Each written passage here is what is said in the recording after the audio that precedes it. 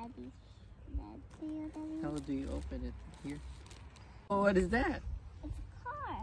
You painted that one?